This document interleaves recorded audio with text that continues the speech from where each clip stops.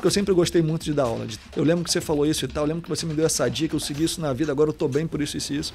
É muito gratificante. A nossa estratégia é: você compra uma marca forte, que tem uma cultura de excelência ali, aí a gente entra, treina aquelas pessoas e escala o negócio.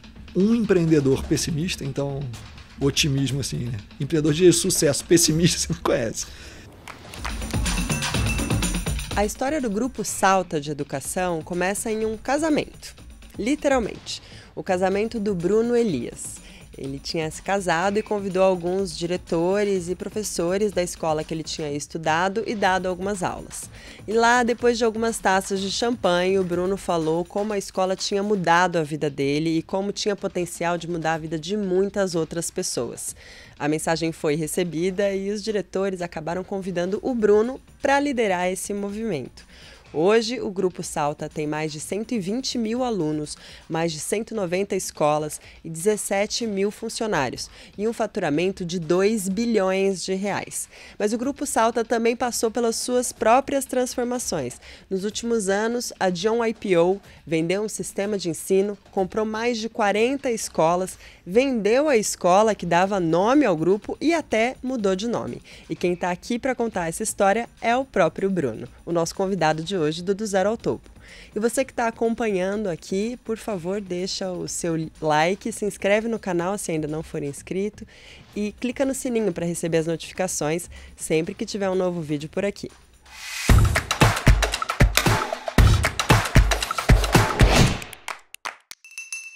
Bruno, obrigada por ter aceitado o convite de estar aqui hoje comigo, com o pessoal do Zero ao Topo, para conversar um pouquinho sobre a sua história e a história da empresa.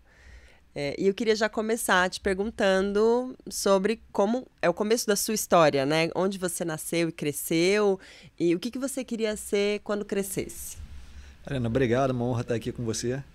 Né, bom, falando um pouquinho da minha infância, né, eu venho de uma família bastante simples, assim, meus pais são do subúrbio do Rio, né, meu pai de Olaria, minha mãe de Campo Grande, né, Zona Oeste, mas assim, tem um orgulho gigante dos dois, né, a história do meu pai é super bacana, ele com 16 anos começou a trabalhar para poder ajudar em casa, né, que ainda é a realidade de muita gente hoje no Brasil. Ele saiu de casa então muito cedo, mas tinha um sonho de ser médico.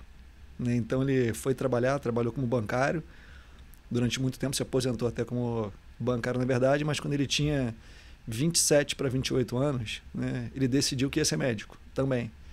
E começou a estudar para caramba, né, passou a trabalhar de noite, fazia aquelas compensações à noite no Banco do Brasil e estudou, estudou, estudou, conseguiu passar em terceiro lugar naquele vestibular da Seis Gran Rio, que era um unificado.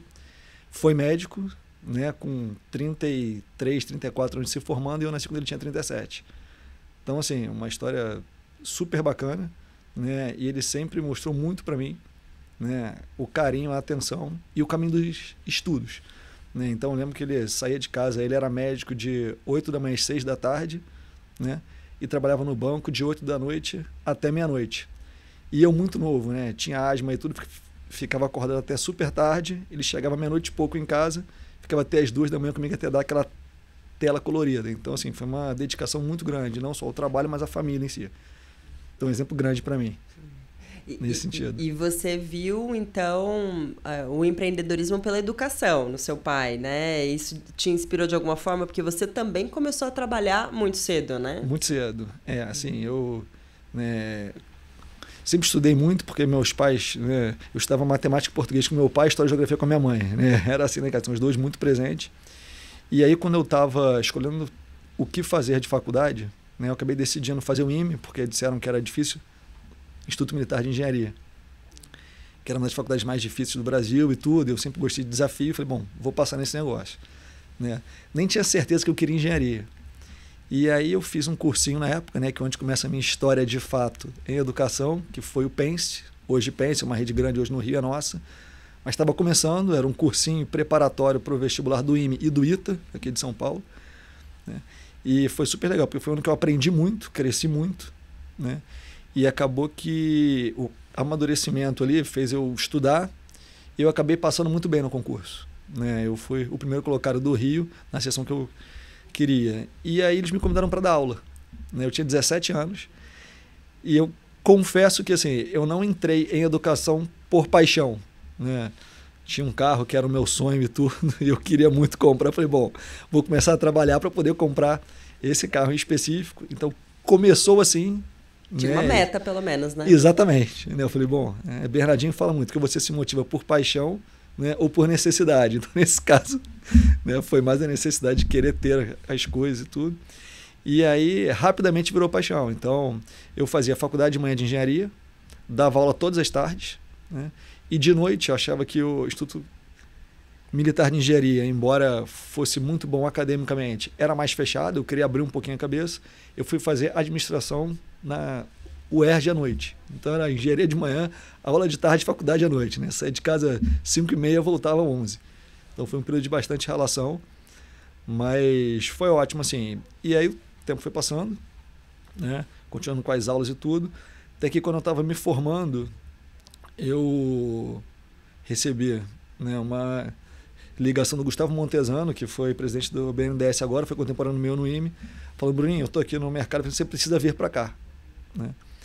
E eu sempre vi que o mercado financeiro pagava super bem e tudo, né? então tinha uma coisa ali, eu estava formando em engenharia, mas não era o que eu era apaixonado. Já tinha né? comprado carro também? Já tinha comprado queria? carro nessa época, uhum. né? dava aula para caramba, então uhum. já estava com meu belo carro lá. E enfim, e aí começou a saga ali, acho que num momento que o exemplo do meu pai e da minha mãe também foram muito importantes. Porque quando o Gustavo me ligou para falar, faltavam mais ou menos oito meses para me formar. Né? E eu fui lá para o banco para tentar fazer o processo e eles viraram para mim e falaram: Bruno, ó, a gente não contrata ninguém com menos de um ano, a chance de você ser contratado é muito baixa. Então, se você quiser tentar passar para o estágio, tudo bem, mas a chance de contratar é baixa.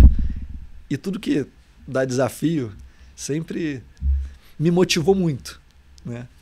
E eu comecei esse negócio. E assim, né, eu brinco que quanto mais eu me esforço, mais sorte eu tenho. Né? Às vezes a gente fala de sorte, mas a sorte é você estar tá pronto no momento que a oportunidade aparece. E esse período, assim, eu lembro que foi um período de muita relação, porque eu estava me formando no IME, né? Tinha notas bastante altas, eu queria me formar em primeiro colocado lá. Né? Apesar de não querer muito engenharia, mais pelo. Né? Se vai fazer alguma coisa, faz muito bem feito, não faz pela metade. Sempre foi meu lema. E entrando lá no banco, assim, era uma prova inicial de matemática e uma prova de conhecimentos gerais, que eu fui bem, passei para a segunda etapa. E naquelas coincidências, nessa mesma semana, eu tive uma prova de História Militar no IME, né, o Instituto Militar de Engenharia, que obviamente não ia fazer a menor diferença na minha vida, mas aí, de novo, se é para fazer alguma coisa, faz bem feito. Eu acabei estudando, e naquele ano eram 40 anos da ditadura. E estudei para caramba e tudo, sabia quase tudo. Quando eu chego na dinâmica do banco, né, a apresentação da, da dinâmica era fale sobre os 40 anos da ditadura. Ninguém sabia nada assim com profundidade.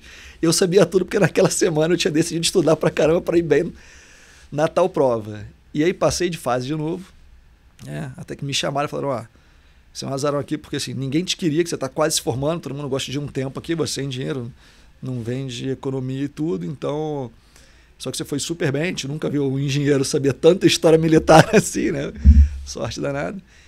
E aí entrei no banco, né? E assim que eu entrei eram várias provas todas as sextas-feiras, foi uma baita formação para mim. Eu fui do, do Opportunity, foi um, um período que eu aprendi muito também.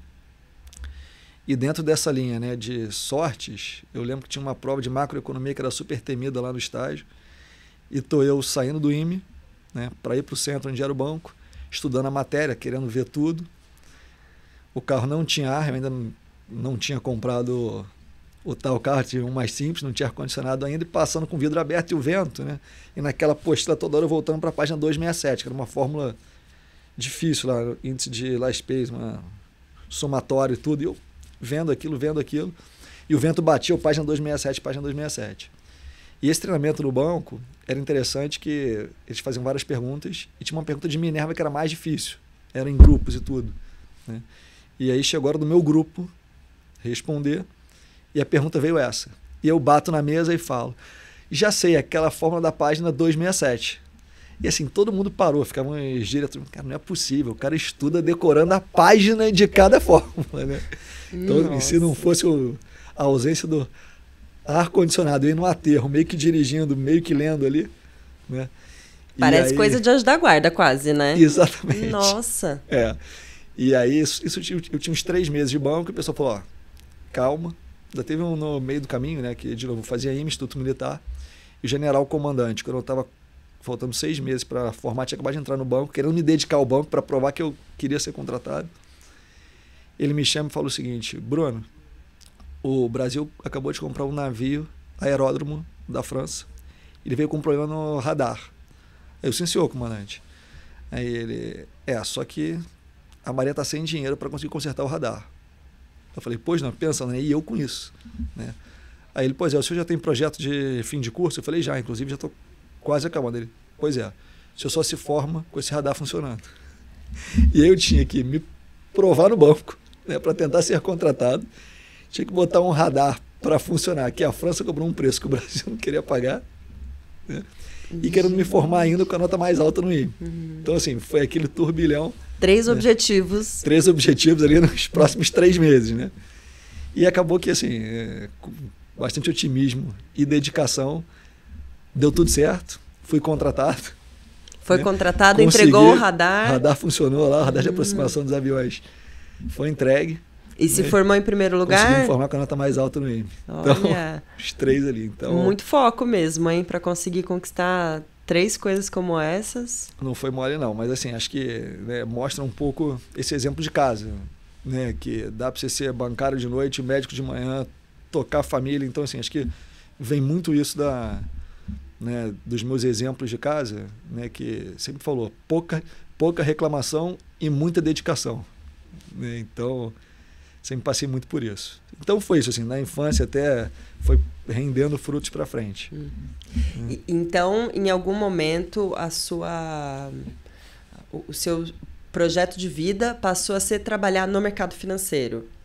Sim, sim. Eu e fiquei, você conseguiu Eu fiquei dando aula isso? aos finais de semana, uhum. né? Mantive o contato lá com os sócios fundadores do PENS, foram quatro ex-professores meus. E essa guinada para a educação, né, ao, longo do banco, eu cobri vários setores, fazia área de public equities lá. Então, entre eles, o setor de educação, e naquela época teve IPO de Croton, né, atual Cogna, SEB, da Estácio, que hoje é Edux, então, enfim. Eu cobri esses setores, né, e eu estava ainda muito dentro do então Pense, né, naquela época, e via que os econômicos do K12 eram tão bons quanto ou até melhores do que de educação superior, né, educação básica.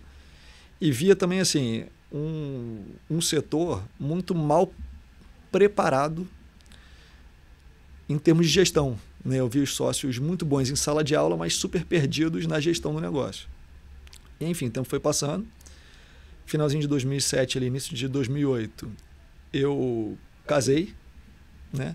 e chamei os sócios do banco, do, do Pense, para o meu casamento. Você ainda dava aulas lá? Dava aula final de semana no só. De semana. E estava no banco direto durante a semana. Por que, que você ainda dava aulas no Era porque eu sempre gostei muito de dar aula, de ter o contato com os alunos em si, sabe? Você vê que está fazendo a diferença e tudo. E fala, poxa, professor, passei aquela questão que o senhor passou. Poxa, aquilo que o senhor falou para mim mudou minha vida, me inspirou. Então isso é muito bacana. Né? Você encontrar um ex-aluno né? e ele virar e falar, poxa, Bruno, eu lembro que você falou isso e tal, eu lembro que você me deu essa dica, eu segui isso na vida, agora eu estou bem por isso, isso e isso. É muito gratificante. Né? Uhum. Essa é a principal razão pela qual deixei o mercado financeiro para poder voltar. Uhum.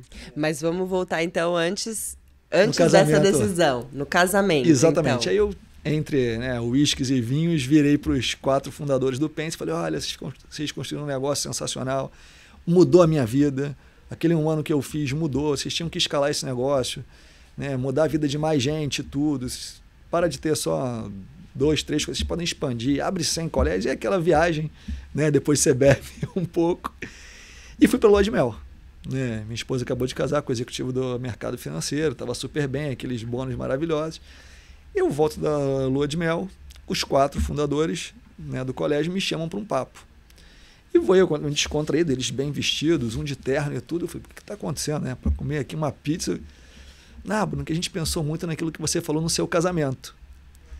Cadê que eu lembrava né, o que eu tinha falado ali no casamento? Tinha falado um monte de eu falei, coisa. Mas eu falei né? um monte de coisa. Qual foi a parte né, que vocês estão falando? Eles, não, a parte que você falou que a gente devia crescer o nosso negócio, que a gente muda a vida de muita gente. Eu falei, ah, concordo completamente, assim, deviam fazer mesmo. Eles tinham na faixa de entre 40 e 50 anos, eu tinha 26. Né? E para mim ele foi uma lição de humildade gigante quando eles viraram e falaram: Bruno, a gente queria muito fazer isso Só que a gente não se sente pronto. A gente queria um chefe para isso. A gente queria te convidar para ser o chefe para construir esse projeto com a gente aqui, né? Então, assim, super bacana, né? Os quatro que me deram aula, né? Me deram a oportunidade de entrar no IME, fazer minha carreira, me treinaram super bem naquele ano, se dedicaram pra caramba a mim, né? Com quase o dobro da minha idade, me chamando para ser né, o chefe líder desse projeto de, de expansão. E me deram carta branca, assim, super legal. Obviamente, no dia eu não dormi, né? Para falar com... Foi... Mas tomei a decisão mesmo em dois, três dias né?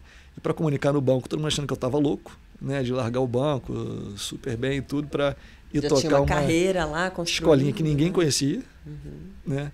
E fui contar para minha mãe, né? O sonho, sonho, da minha mãe é que eu fosse funcionário público, estabilidade e tal, não sei o quê. Então quando eu falei que eu estava largando, eu, meu filho, raio, não quero no mesmo lugar duas vezes. Né? Eu ganhava em um mês no banco que eles, né? Sei lá, quase um ano para ganhar. Então, né? ficou desesperado, começou a chorar, achando que eu estava louco e tudo. E eu fui muito, né, porque eu queria fazer alguma coisa, né, que desse retorno, eu queria, né, assim, dar para outras pessoas a oportunidade que eu tive naquele, naquele ano de Pense. As pessoas que estavam lá também, que acho que para qualquer negócio é importantíssimo, com quem você faz, né, depois você, você primeiro vê com quem, depois o quê. Né? Então, sempre segui muito assim. Então, vários executivos hoje, se level da gente, né, já estavam naquela época lá, né? Então, gente muito bem formada, muito bem intencionada, com muito propósito e tudo. E a terceira coisa é que eu vi que os econômicos também poderiam ser algo relevante, sabe? E aí foi isso. Aí saí, né? Comecei, lembro que no primeiro dia que eu cheguei lá, eu não fiz diligência nenhuma, a minha decisão assim foi completamente acredito nessas pessoas, acredito no produto, vou para lá porque acho que eu posso ajudar a formalizar mais o negócio, dar uma cara de empresa e escalar. No primeiro dia que eu chego lá, é, chego, chego lá no escritório, viro e falo, me dá folha de professor. E aí chega uma pessoa super querida, né, um dos sócios maçantes, e me entrega um caderno. Aí eu falei, não, Márcio, me dá em Excel. Ele era o chefe da química, né, e CFO também. professor de química era o CFO. Então me vem um caderno, cada página do caderno era um dia. Então, vamos lá.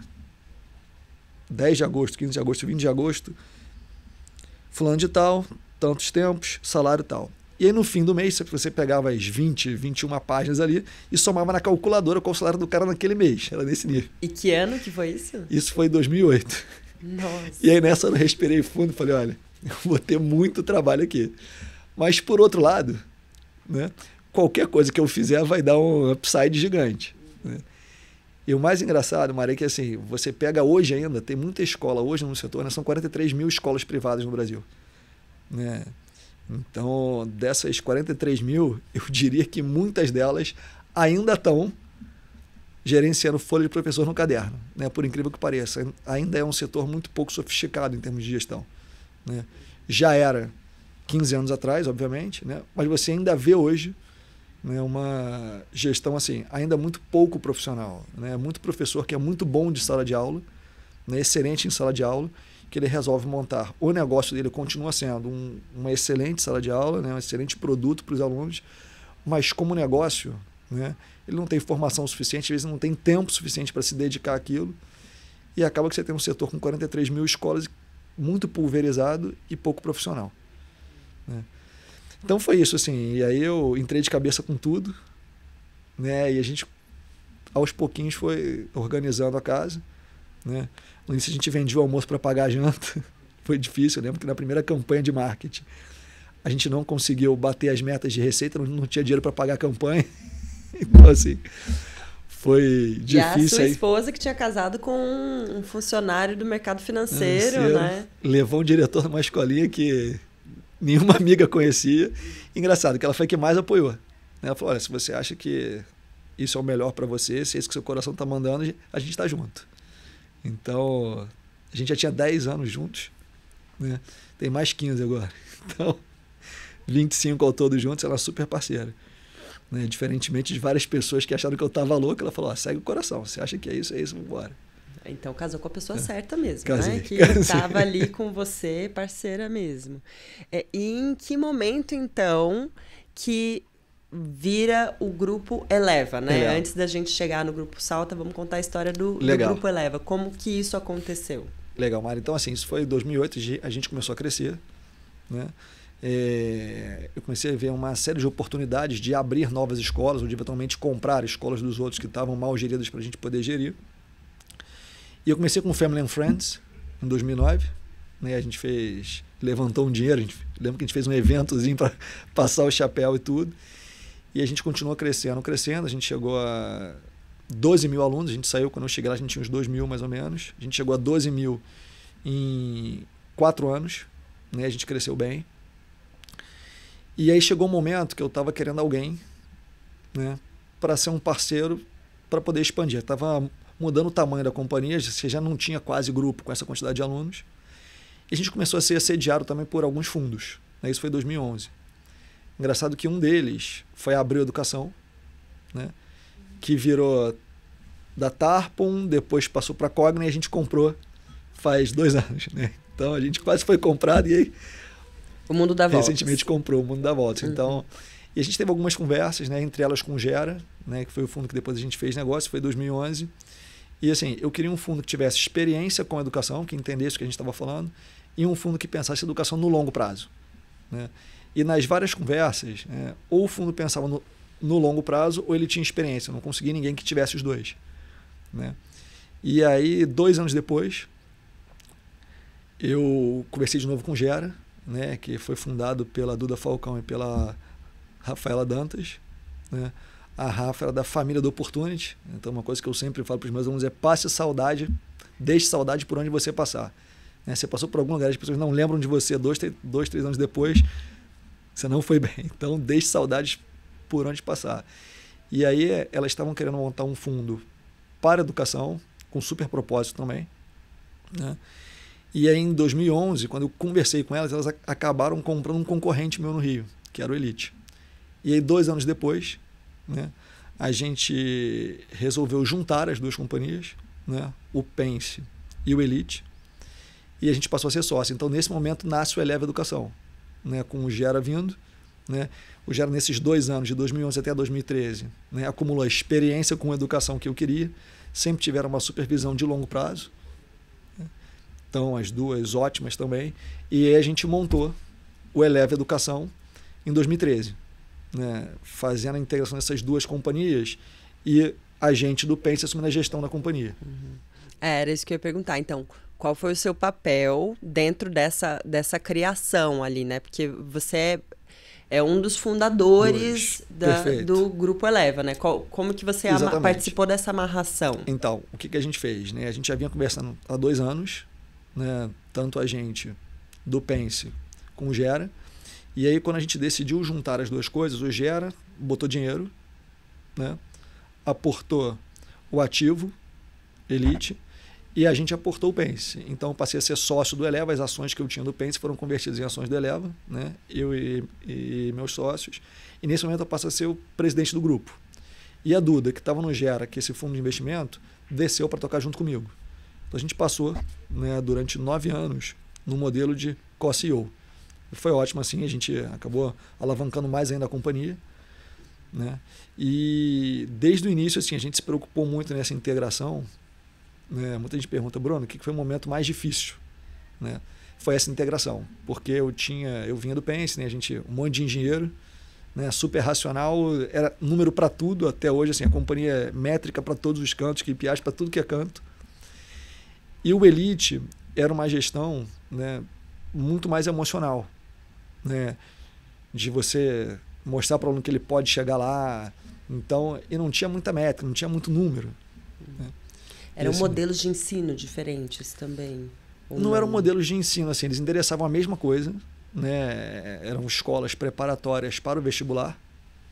Né, mas, assim, o jeito que você preparava o seu aluno, né, o Elite e o jeito que você geria a companhia também, não é só preparar o aluno, não. Vou te dar um exemplo, tá?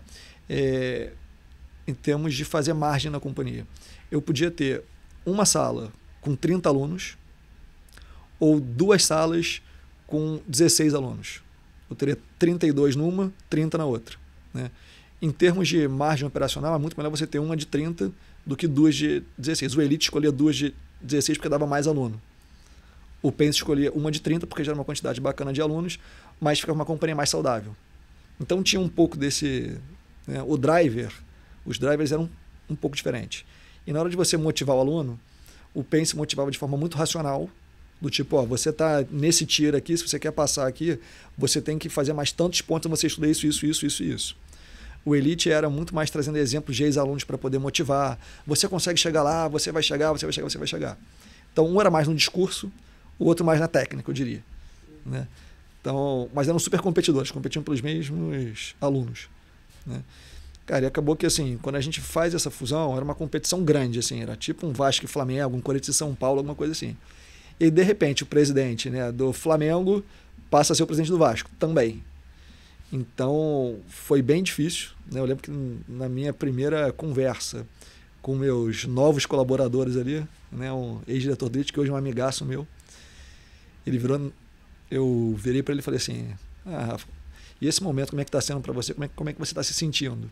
E ele vira para mim eu estou muito preocupado com a ética do grupo com você à frente. Assim, um cruzado de direita já assim, né, que eu tive que arrumar. Numa reunião aberta com Uma todo reunião mundo. aberta, assim. Uhum. Eu falando com os meus novos diretores ali, né, sendo, sendo apresentado como novo presidente da companhia. E aí, assim, a gente... Eu errei bastante também no, no início, era 10 anos mais novo, né, 10 vezes mais arrogante do que hoje. Então, o que, que a gente fez? A gente meio que atropelou a cultura do elite. Né? A gente fala, não, isso, o, que, o, que, o que eles estão fazendo está errado, né? vamos botar a gente do Pense para cuidar do Elite. Só que a, a, comunicação era diferente, era tudo diferente. Né? E acabou que a gente foi bem mal no primeiro ano. Né? Então, assim, foi um momento difícil, porque a gente, tava, a gente tinha levantado dinheiro, né? o Gera tinha captado com investidores, a gente acabado de fazer um negócio que seria muito legal, e no primeiro ano já não foi o que a gente esperava que fosse, né? porque sim, sim, sim, simplesmente o que a gente falava não era entendido. Falavam e, é línguas diferentes. Exatamente. Né? Eu tive um aprendizado gigante na minha vida, porque até então eu só queria gente parecida comigo no time.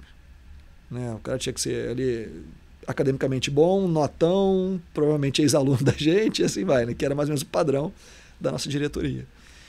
E acabou que a parte boa é que quando a gente erra, a gente percebe rápido. Né? Eu falo muito isso aqui, assim, a gente tem que acertar mais do que errar.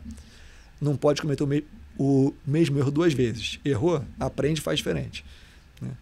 E não cometer nenhum erro que tire a gente do jogo. Então, quando eu vi que a gente estava errando, com oito meses ali de integração, eu falei, cara, tudo, tudo que a gente fala não dá certo. Eu falei, ah, eu vou fazer o seguinte, eu vou pegar alguém do Elite e vou botar de chefe do Elite, alguém que entenda o que a gente fala, e essa pessoa vai ser o porta-voz. E o engraçado é que aos nossos olhos, né, aquela pessoa não era uma pessoa assim top, um executivo top que a gente teria necessariamente no time. É engraçado que hoje eu botaria esse cara em qualquer time. Então é que a gente muda, né? E eu falei, bom, assim, e muita gente conta, Bruno, você tá maluco botar esse cara? É o único jeito de entender a gente aqui. E assim, e foi ótimo, porque quando a gente botou, ele comprou a gente, ele entendia que a gente poderia agregar mas vocês estão fazendo tudo errado. Né? E nesse momento, assim, foi uma virada de chave gigante. Né? Hoje o Elite é, é a nossa maior rede, né? acho que talvez a maior rede privada do Brasil, são mais de 40 mil alunos só no Elite um sucesso absoluto, né? uma excelência acadêmica gigante, resultados ótimos, né? e como negócio também muito bacana. Então, assim, nesse início, né, que a gente teve que teve essa dificuldade gigante, a gente sempre se preocupou desde o primeiro dia em fazer uma companhia única, mesmo back-office, mesmo sistemas, mesmo tudo, que dá um trabalho assim desgraçado, né?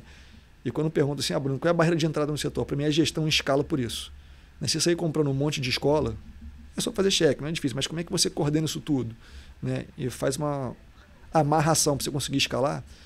Tanto que tem muita escola que tem ali mil alunos, a gente fala, você não quer vender? Não, não quero vender nunca, meu sonho é fazer aqui 20 mil alunos. E o cara chega ali com 3, 4 mil alunos, puxa o telefone liga, Bruno, chegou na hora de vender, porque assim, cara, tá muito difícil, é muito problema, eu já não consigo, né? Porque a gente foi construindo ali ao longo do tempo, apanhando muito, né, Mário? Assim, acho que a gente a vantagem hoje é que assim, a gente tem um book do que não fazer, né? São 15 anos colecionando erros. Então, assim, depois você erra tanto, né? Uma hora você aprende para errar menos. Então... E, e nos últimos anos vocês também fizeram algumas mudanças muito importantes, né? Então, é, acelerando aí um pouco no tempo, chegando até 2020 mais ou menos.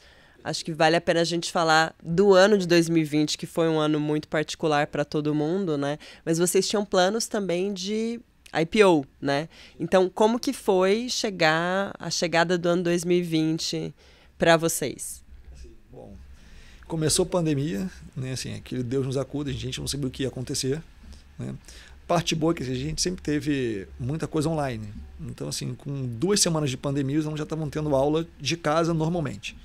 Né? Então, a equipe de TI, de pedagógica, assim, vararam umas seis, sete noites seguidas ali, botaram o negócio de pé. Então, assim, operacionalmente falando, né, foi um ano, assim, obviamente difícil, muito diferente, né? mas eu acho que no relativo a gente conseguiu entregar muito. Né? Até que no pós-pandemia, assim, o índice de matrículas nosso foi muito forte. Acho que é um pouco por isso, pela nossa entrega durante. Mas falando da empresa em si, né, a gente, quando meio de 2020, início de 2021, a gente estava pronto para fazer o IPO. Né, e surgiu um deal para fazer. Né? A gente tinha um negócio de sistema de ensino, né, que é a venda de. É como se fosse livros com vários suportes online, com vários outros serviços agregados. Né? Que você duas companhias abertas hoje, a Arco e a Vasta. Na verdade, a Arco acabou de fechar o capital né? Mas que é, é um ótimo negócio tudo. Só que assim, eu tenho uma matriz aqui né, de como é que a gente entra e sai dos negócios, que é um, que impacto a gente dá, né? A missão do Grupo Salta, né, do antigo Eleva Educação, sempre foi transformar vidas por meio da educação. Então é transformar vidas e o Brasil, a gente quer dar um impacto no país. Então sempre tem um driver de impacto, né? um driver de excelência, né, barra qualidade. Né? Então, eu tenho impacto, eu estou fazendo bem feito, né? eu tenho um diferencial de longo prazo nesse negócio. Né? E o terceiro, sim, é uma empresa com fins lucrativos, então qual o retorno né, que eu vou dar para o meu acionista, para o meu. Qual o retorno sobre o capital investido aqui. Então, são as três coisas que a gente olha. E quando eu olhava para essa parte de sistema de ensino, né, a gente tinha players como Arco e Vasta já abertos naquela época, com um milhão de alunos, um milhão e pouco. A gente tinha 200 mil alunos. Eu não via tanto diferencial no nosso produto, né? E eu não achava que a gente ia ganhar um jogo naquele produto. Então, quando a gente olhou assim, bom, tem gente aqui fazendo bem, tão bem quanto a gente, nem melhor nem pior. Como é que eu vou ganhar o jogo se eu tenho menos escala e tudo? Era um lugar, né, em que as valuations estavam bastante altas, né? E um lugar em que assim, o impacto que a gente ia dar, eles iam dar muito parecidos. Então, quando a gente, a gente olhou vantagem competitiva, não tinha, né? Impacto, a gente fazendo não ia, não ia dar mais do que se alguém fizesse. E eu olhava assim, o retorno financeiro daquele momento que a gente viu, né, de sair de sistema que não não agregava nada para a gente e eu não ia ganhar, eu não ia ganhar esse jogo. E com a oportunidade, né, de quase que ao mesmo tempo ali comprar as escolas da Cogna, né, aquelas escolas que tentaram comprar a gente lá em 2011, né, que a gente sempre achou escolas muito boas, né, e que a Cogna né, estava com uma quantidade de negócios muito grande, tinha acabado de abrir o capital da Vasta lá fora, focando em sistema de ensino, eles não tinham tido tempo de olhar tanto para essas escolas ainda. Né? Era quase que um side business para eles. E para a gente parecia fazer muito sentido. Né? Então a gente decidiu dobrar a aposta nas escolas né? e sair do business desse sistema de ensino. Não foi uma decisão fácil, né? não foi mole convencer o conselho também, que assim, a gente tinha que abrir mão do IPO para isso. Né? Acho que esse é o pensamento de longo prazo que eu sempre preguei assim. A gente sabia que né, a gente estava abrindo mão de um IPO, né? Que para a gente sempre foi um início, não foi um fim de nada. Então a gente pode adiar esse início, né? Em prol de um negócio que faz sentido para a companhia como um todo. Eu acho que trazendo as escolas, o impacto também gigante. Né? E eu acho que assim, em escolas, né, depois de 15 anos, aquela regra das 10 mil horas, né, acho que a gente já tinha né, rodagem aqui, time, né, Tracking Record tinha mais de 60 integrações nas costas para poder botar um cara que era metade da nossa receita para dentro. Então, assim, a gente fez essa decisão de abre mão do IPO e vamos com tudo para cima desse deal. E foi ótimo para a gente, assim, Mari. Acho que né, hoje a gente tem 120 mil alunos, assim, com né, mais de 2 bi de faturamento, sabe? E a gente conseguiu, com o ativo da Cogna, trazer, assim, acho que quando a gente faz NPS com as famílias, quando a gente, a gente vê satisfação dos colaboradores, né, da antiga Saber, que era essa empresa, tudo, tudo subindo. Né? Então a gente, a gente conseguiu integrar, foram 42 escolas né, em sete meses. Então, assim, recorde nosso de integração também, tudo nos mesmos sistemas, né, falando a mesma língua de tudo. Então, assim, a gente ficou bastante satisfeito. Né?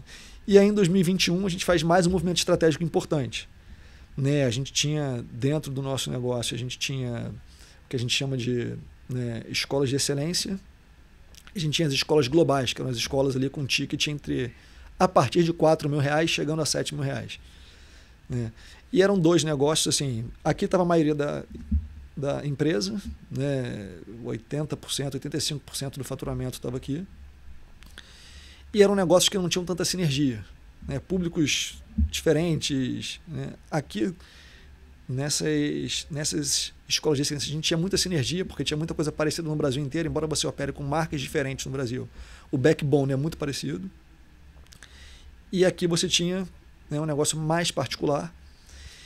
E a gente criou esse segmento global em 2016. Né, acho que a capacidade de execução do time né, muito forte. A gente falou assim: bom, vamos criar uma escola de referência. E a gente demorou um ano e meio, da ideia até o primeiro aluno entrar. Né? Foi bacana que a ideia inicial era ser uma referência para o sistema de ensino. Né? A gente tinha meta de 120 alunos ano 1, 240 ano 2, 360 ano 3. O ano 1 a gente teve 300 alunos, o ano 2100, o ano 3400. Assim, superou toda e qualquer expectativa. Né? Existia um mercado. Existia. Né? Né? E, assim, e era meio desafiador, porque era você montar uma escola né, do zero, na zona sul do Rio de Janeiro, que era super tradicional, onde né, Santo Agostinho, Santo Inácio, escolas muito boas e muito fortes ali. Essas escolas de um lado, né, e de outro lado, americana, britânica, as escolas internacionais, né, que pegavam outro espectro público. Então, assim, o que a gente quis era fazer uma escola brasileira, bilíngue integral. Então, a gente conseguiu reunir o melhor dos dois mundos e montar um produto né, um mérito muito grande da Duda, né, como eu falei, que foi co-CEO comigo até o ano passado, então assim, fez um trabalho lindo, brilhante lá. E acabou que o negócio deu tão certo que o que era para ser né, uma escola de referência para o sistema de ensino passou a ser um business. E chegou no momento em que a gente queria internacionalizar. A gente falou, bom, não dá para a gente ter uma escola né, que a gente prega que ela seja global, que os alunos tenham experiências globais, se a gente só está aqui no Rio, né? Tava indo para Brasília, Recife, mas Brasil só. A gente começou a olhar para fazer coisas fora do Brasil, né? Comprar escola na Europa, comprar e tudo. E assim, a gente tentou uma, perdeu, né? A diferença de câmbio era grande. Então assim, todo mundo falando em euro, a gente no real aqui para tomar dívida em euro e tudo mais complexo. A gente olhou os Estados Unidos e tudo e viu assim, olha, não tá mole a gente né, sair daqui nesse tripé, né? De impacto, qualidade, ganhar o jogo, retorno. E aí, com um dos players que a gente conversou, né, a gente perdeu para ele uma aquisição e depois perdeu outra. Né, ele veio falar com a gente, gente falou, pô, quem sabe a gente vira sócio aqui e tudo, tenta ver, porque esse cara tem escolas muito boas no mundo inteiro, até para os nossos alunos poderem fazer intercâmbio e tudo. E acabou que a, que a conversa foi evoluindo, né, e a gente acabou decidindo vender. Né, ele queria controle e tudo. E assim, e a decisão da venda né, foi muito também nesse tripé. A gente acha que para os alunos né? Você ter acesso a uma rede internacional né? bastante top foi muito bom. Né? A gente conversa hoje com os pais, todo mundo muito satisfeito também. Acho que a gente fez um bom trabalho, mas tem que ter humildade para reconhecer até onde você consegue chegar. Acho que a gente passou o bastão para alguém né, que tem tudo para fazer melhor que a gente. Então, esse lance de impacto, né, de excelência, a gente dava o check. Né? Assim, em termos de mercado, né, essas escolas que a gente atua, né, que é entre ali 700 reais hoje em dia até 3.500 reais mais ou menos, né, é onde está o grande TAM, o Total Addressable Market aqui tá, é bem maior aqui, né, é onde você tem um crescimento muito maior. Né, então, e como não tinha sinergia entre os dois business, a gente achou que faria sentido sair e dar foco total aqui. Então foi uma decisão muito por foco e por qualidade da escola em si. Eu acho que a gente criou alguma coisa muito bacana. A gente movimentou o mercado do Rio de Janeiro, né? acho que as escolas se mexeram depois que a gente criou o produto. Então o impacto estava dado. Né? Então, e aí foi isso. Então a gente sai de sistema, sai da parte global e dobra a aposta nesse segmento, né, que é o maior que tem, com mais escala, né? E acho que a gente consegue fazer bastante diferença também. Uhum. Né? E, e, com a saída, a venda também dessa, desse colégio, né, desse, desse negócio, a empresa também muda de nome, né? Então foi por isso que vocês viraram, deixaram de ser Eleva Educação e passou Exatamente, a ser Grupo né? Salta. A gente tinha o sistema de ensino Eleva. Né? Olhando depois, você pensa, maluquice, né? mas na época fazia sentido. Você tinha um sistema de ensino Eleva, você tinha a escola Eleva, que era a escola de referência do sistema de ensino Eleva, né? e o grupo se chamava Eleva. Aí a gente vende o sistema com o nome Eleva, vende a escola com o nome Eleva. Né? Aí não fazia sentido ter um, um grupo Eleva a gente ser dono de um grupo Eleva com outras escolas, sendo que tem uma escola chamada Eleva e um sistema de ensino chamado Eleva. Né? E a gente fez essa mudança de nome final do ano passado também, né? passando a se chamar Grupo Salto Educação, né? mas com os mesmos valores, com os mesmos princípios, com as mesmas pessoas, né? todo mundo apaixonado por educação, querendo construir por longo prazo. Uhum. E qual que é o retrato hoje do grupo? Quantas escolas vocês têm? Quantos alunos? Quantos funcionários? Qual o faturamento? Qual que é o retrato atual? Legal, Mário. Hoje são 120 mil alunos, Tá? A gente hoje é o maior do Brasil disparadamente. Né? Provavelmente o maior do mundo. Tá? A gente divulga alguns números. O James estava em 115 mil e a gente não. Então, assim, a gente está entre os, certamente entre os top 3 do mundo. Tá? São 17 mil colaboradores. Né? Bastante gente, bastante responsabilidade aí. É, escolas são 192. Né? Toda hora a gente faz alguma aquisição, então esse número é um pouco. É, o número que eu tinha aqui já está desatualizado. Time, é, uhum. o time de M&A de expansões deve estar tá assinando alguma coisa por agora, então enquanto a gente está falando aqui, tem alguma coisa rolando. Né? Faturamento, a gente 2 bi esse ano, né? ano que vem a gente já cresce bem também. Né?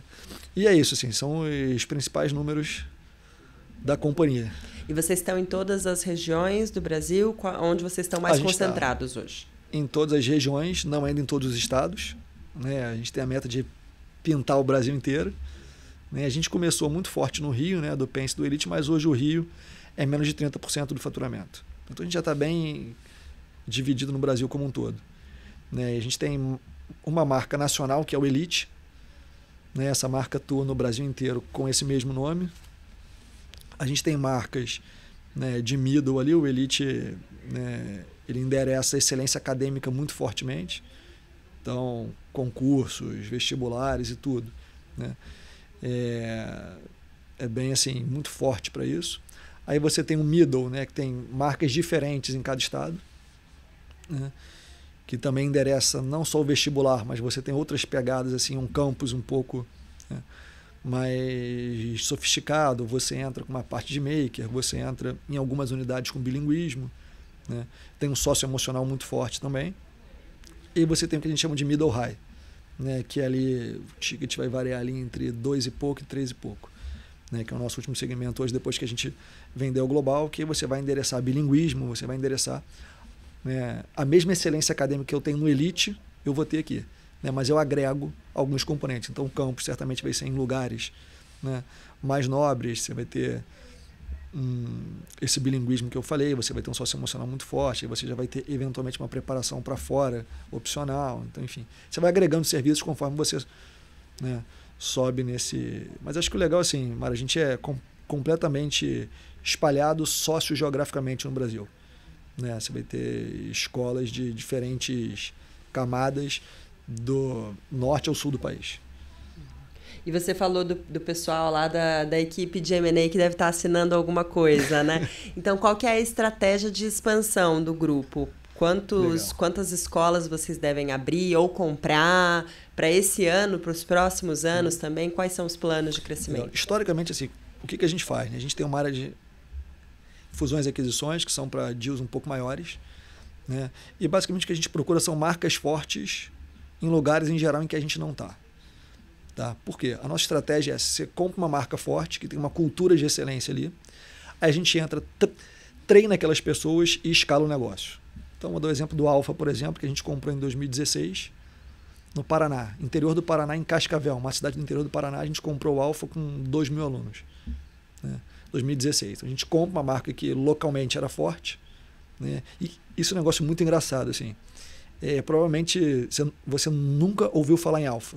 Você vai no interior do, do, do, Paraná, só se fala em alfa. Então, assim, as marcas de escola elas não viajam no país. Isso é um negócio engraçado. Por isso que a, a, a nossa estratégia é ter marcas fortes localmente.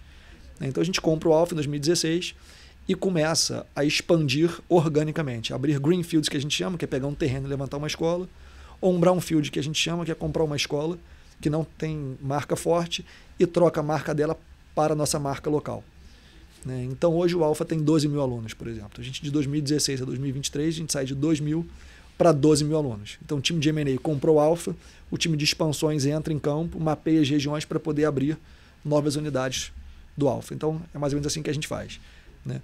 Então, historicamente, Mara, a gente faz de 2 a 3 M&As por ano, desses menores, tá? E a companhia está pronta para abrir organicamente 25 a 30 unidades por ano. Então, e é, é esse o plano para os próximos anos esse é o plano Para os próximos anos. Se olhar o nosso business plan, assim, é basicamente isso. Né? Você tem alguns deals, assim, tipo esses que a gente fez com a Cogna, né? que não estão em lugar nenhum, mas que a gente fala, né? Tem vários players grandes, a gente conversa com todo mundo, né? O setor tem se movimentado muito, apesar de ainda ser muito pulverizado. De novo, a gente tem 120 mil alunos de 8 milhões de alunos em escolas privadas. Né? Então, apesar de ser o maior player, é um share muito pequeno ainda. E você vê espaço para consolidação nesse setor? Tem, Com certeza. Deve acontecer aí uma, nos próximos anos? O que, que vocês imaginam? Eu acho que sim. Assim, é, é porque como ele é muito grande, diferentemente de educação superior, que você tinha players grandes, então né, um deal você já consolidava mais fortemente. Aqui são deals menores. Né? Então, a gente comprou a Cogna, por exemplo, a gente quase dobrou o nosso market share, mas ainda assim, ainda é muito pequeno. A gente tem 2% de share, se botar. Né? até chegar em um mercado consolidado, que você vai dizer, ah, dois, três players com 20% de share, vai tomar muito tempo ainda. Né? Eu acho que isso que é a beleza do case, né? que a gente pode continuar crescendo durante muito, muito e muito tempo. Eu acho que assim, a gente conseguiu montar aqui é, uma quase que uma máquina né, de achar boas escolas, né, conseguir in, integrar essas escolas no grupo, oferecendo mais serviço e mais qualidade para os pais. Né? Os sócios que fizeram negócio com a gente até hoje, né? eu brinco quando eu vou fazer algum negócio com alguém, quando eu quero convencer alguém a vender para a gente, eu falo: ó, tá aqui a lista de todo mundo que já vendeu para a gente. Lista, nome e telefone. Liga para qualquer um que você vai ver o que é vender para o Grupo Salto. Né? Então a gente tem essa relação muito próxima e muito legal também com os ex-sócios né, de escolas que venderam para a gente ou de alguma maneira se associaram com a gente. Agora, esse crescimento todo, esse plano de expansão que vocês têm, tem um custo alto também, né? De onde vem esse dinheiro? Vem de caixa próprio, vem de fundos, vem de um possível IPO Eu... também? O que está no, nos planos? Mas assim, a gente tem dois fundos, né? A gente tem o Gera na base, né? Que tem os LPs do Gera, né? São famílias assim de super longo prazo, né? Famílias importantes até aqui para a história dos negócios no Brasil. E assim, a gente tem também a, o Abupincos, né, que entrou com a gente em 2017. Então sempre foram super apoiadores da gente. Hoje a companhia gera muito caixa, né, então a gente usa o caixa inteiro para reinvestir nos negócios, quer seja na qualidade pedagógica, quer seja nessa expansão. Né. Mas assim, é natural né, que com esse tamanho, né, e também assim, são fundos, né, e fundos têm entradas, têm saídas, enfim, todo mundo, né, os investidores. Então acho que o processo de IPO é um processo natural. Né, a gente não está com pressa, né, a gente está. Hoje está super pronta a companhia, né? os processos todos a gente faz como se fosse uma companhia aberta, tudo. Então, assim, acho que aparecendo momento certo, acho que faz sentido, porque também passa a ser uma moeda de troca. Né? Quando você vai fazer aquisição e tudo assim, tanto para chamar capital, né? você consegue fazer agora, né? início do ano, o mercado fechou completamente. A gente tinha alguns dias super bacanas para fazer, né? mas eu não tinha dinheiro. Talvez se eu fosse aberto, né, conseguiria levantar muito rápido. Né? E aí, assim, crédito em bancos, os bancos fecharam tudo. Então, assim, passou um período que eu né, deixei de fazer algumas coisas que eu acho que seriam super accretive para empresa como um todo. Então, assim, acho que você ter o capital aberto, você tem uma moeda de troca, né? você dá liberdade para cada acionista decidir o que, que quer fazer e você ganha muita velocidade para esse crescimento também. Entendeu? Então, acho que vai ser o caminho natural, né? sem pressa, no momento mais adequado. E pensando na sua trajetória toda, Bruno, e também na trajetória do grupo, né? Qual foi o momento mais difícil para vocês? Como que vocês superaram? Foi o, a primeira integração? Foi pandemia? Eu acho que a integração do Elite foi bem difícil, né? A pandemia eu acho que deu mais medo do que de fato foi difícil na operação. Eu, eu, eu não sei se é porque passa o tempo a gente esquece. Né? É, mas assim, eu tenho mais trauma da integração com Elite, que foi quando a gente aprendeu muito, né? e foi ótimo, porque depois vieram mais de 70 integrações e a gente aprendeu muito com aquela. Mas foi difícil. A gente né? espera que não venha nenhuma pandemia, mas é, também, por favor. Né? Né? E o deal com a Cogna também, aí particularmente para mim, eu sofri bastante, porque era negociar com a Cogna de um lado, com o meu conselho do outro, e assim, nenhum dos dois estava satisfeito nunca. eu chegava lá com o Galindo na Cogna, conversava ele de jeito nenhum. chegava no meu conselho e falava a mesma coisa de jeito nenhum também. Então, assim, né? cabeça que esvaziou, apareceu um buraco aqui, foi um período que particularmente não foi fácil, mas valeu a pena. E foi quanto tempo de, de negociação? Ah, foram fechar? assim, foram uns seis a oito meses negociando ali. É, no meio da pandemia também. Então, assim, não foi, não foi muito fácil. Tava meu terceiro filho nascendo, então tudo junto ali misturando. Né? Sempre acontecendo coisas ao mesmo tempo, né, Bruno? E legal. E a gente já, bom, a gente já está conversando há bastante tempo, né? Mas como você é um professor, você está aqui trazendo várias lições, queria que você desse um conselho. Qual conselho você daria para quem está é, tá começando agora, ou para quem quer trabalhar no setor educacional, ou empreender nesse setor também? É, eu acho assim, né? Pensando, olhando para trás, o que que eu gostei de ter tido e não tive. Eu acho que assim, você tem que ser mais cara de pau. Né? Eu tinha muito medo de falar com a pessoa, eu, eu tinha um pouco de vergonha. Né? E assim, todo mundo está super acessível hoje em dia. Às vezes você vê alguém de sucesso e pô, esse cara é muito legal, eu quero tanto poder falar com ele. Corre atrás que você vai conseguir chegar nele. Né? Então, durante muito tempo, eu quebrei muita pedra sozinho, olhando muito para dentro. Né? E acho que o Gera trouxe muito isso e abriu muito essa cabeça de, não, a gente pode atingir quem a gente quiser. Vamos fazer benchmark, vamos fazer isso. Então, acho que tem uma coisa que é, aprende com o erro dos outros, né? E ter mentores é ótimo, assim, ter pessoas com quem você possa conversar mais experientes para trocar uma ideia, né, facilita muito o caminho.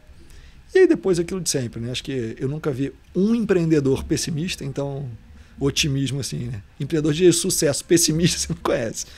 Né? Então, eu sempre fui muito otimista também, então eu daria a dica de otimismo, né?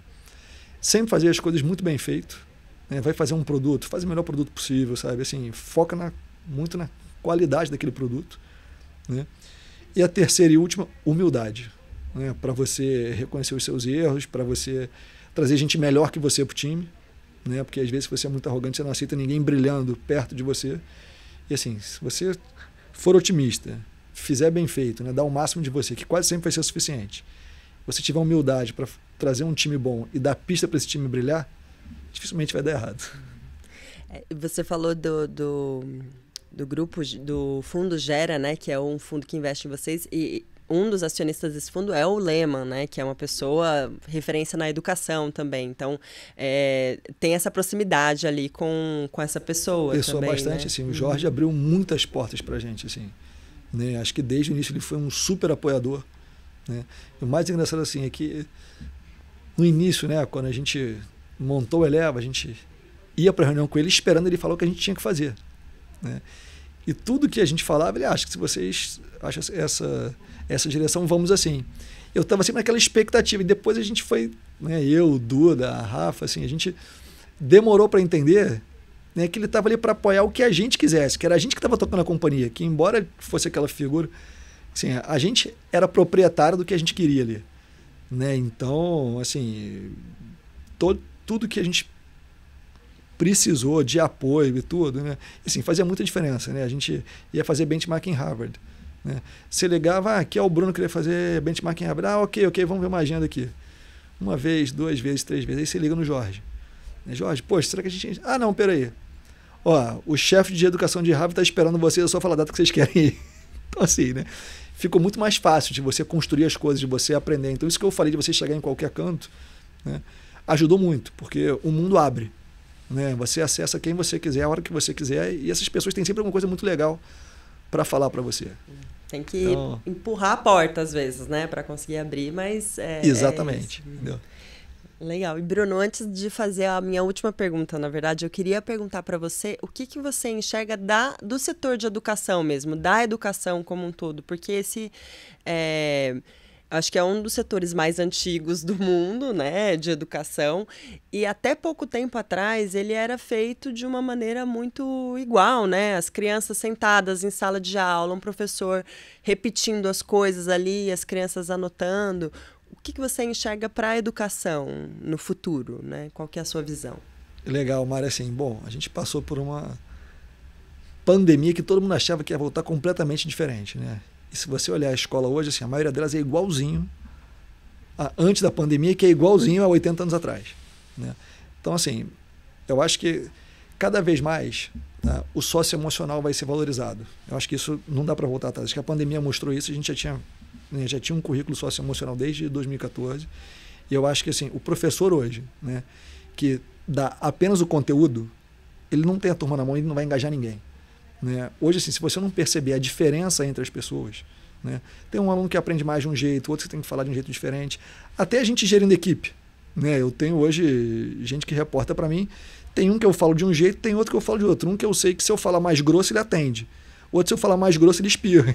Então, assim, né? Educação é igual, né? As pessoas aprendem de maneira diferente, se motivam por coisas diferentes. Então, eu acho que esse socioemocional e como você motiva vai estar muito no cerne dessa questão. Eu não acho que essa parte de online para educação básica tá, vai dominar o negócio. Né? Acho que a gente teve várias iniciativas, várias startups disso, mas assim, né, a escola se faz no pátio, né? É naquela briga com a amiga, naquela discussão, aquele puxão de cabelo e tudo, que a vida te ensina muito. Né? Então, o socializar é muito importante. Né? Eu tenho, assim, hoje, discussão na minha cabeça, eu li um livro esse final de semana, Generations, né? Falando das gerações, desde os Silents até o, a geração Alpha agora, né? E, assim, é, acabei ele apavorado, né? Já tinha uma questão forte com rede social e tudo, o índice de suicídio, de problemas psicológicos aumentou muito, né? Então, assim, já estou bombardeando a minha equipe pedagógica lá para falar o que, que a gente pode fazer nisso e tudo. Então, assim, quando eu olho para frente a educação, eu acho que vai sair daquilo de você dar conteúdo, conteúdo, conteúdo, que ainda é, muitas escolas ainda são assim hoje. Né? De decorar a página que nem você decorava, né? exatamente, né? exatamente, aquele negócio. Né? E caminhar muito mais para abrir o horizonte do aluno, ver as possibilidades que você pode dar para ele. Né? Assim, exemplo nosso aqui, a gente montou uma, 60 eletivas no pós-pandemia. Né? A minha escola continuou a mesma pegada e tudo, mas a gente agregou muito ao currículo com a parte online. Então, tenho 60 eletivas desde investigação criminal, história do esporte, direitos da mulher, uma série delas que os alunos escolhem. Então, o online, você precisa ser automotivado para fazer. E você se motiva quando você escolhe. Né? Então, assim, você pensar há 10 anos, você não podia fazer isso, porque o teu currículo era matemática, física, química, história, geografia, português. Né, né, né? Então, acho que uma expansão de currículo vai acontecer, muito vindo dessa parte online, que te dá escala para você fazer isso. Um foco no socioemocional, né? e um foco na motivação e saúde mental dos alunos. Eu acho que você shifta um pouco de só conteúdo né? para é mais o, o como do que o que. Né? E até então é muito o que unidirecional. Uhum. Então, é como eu vejo um pouquinho para frente, é como eu estou direcionando as nossas escolas aqui. Uhum, legal. E para finalizar, então, Bruno, qual livro você indica, ou quais livros, né, ou série, ou filme também, você indica para quem está acompanhando a gente? Olha, assim, tem esse que eu acabei de ler que eu gostei bem, tá? É o Generations, não é o do Neia da é, Twenge, né? Jean Twenge, Jean-Marie Twenge, que é bacana, que fala muito desse conflito de gerações, você consegue entender também. Hoje eu tenho professores da geração Y e X dando aula para alunos Z e Alpha. Então, como é que eu motivo isso? Como é que eu treino esse cara do X e Y para poder motivar o aluno? Então, tem um negócio muito bacana assim, né? É, gostei bem. Tem dois que eu reli recentemente, são dos mesmos autores, né, que é do Chip do Dean Ritter. Um é Made to Stick, é como você passa a mensagem, né? E o outro é Power of Moments. Não são livros novos, mas são livros ótimos assim para você passar a mensagem. Fala muito de contar a história, botar uma carga emotiva para você para para a mensagem grudar na cabeça. Né? Então, quem dá aula, quem tem equipe, para você inspirar mais e tudo é muito legal. Vale para a vida pessoal também. Né? Em casa também, eu tenho usado muito com as crianças. como é que eles entendem o que eu estou falando? você fala dez vezes, eles fazem dez vezes diferente. Então, como é que gruda a minha mensagem neles? São dois livros legais. Né? E tem um que tem 20 anos que eu também vira e mexe e releio, que é o Good to Great. Né? É, em português é, é, do, é o do Jim Collins, acho que é empresas que duram. Esqueci em português, mas é o Good to Great, né? que também é assim, você fazer companhia para o longo prazo, fala muito de equipe, das decisões que você toma e tal. Eu também gosto bastante, apesar de ter 20 anos o livro. Tá certo, Bruno. Super obrigada pela tá participação aqui, pelas dicas todas. Anotei aqui e vou deixar na descrição do vídeo, do, do podcast também, para quem quiser ler. Depois eu deixo a tradução em português também. Ah, maravilha. Obrigado, viu? Obrigado. Foi ótimo.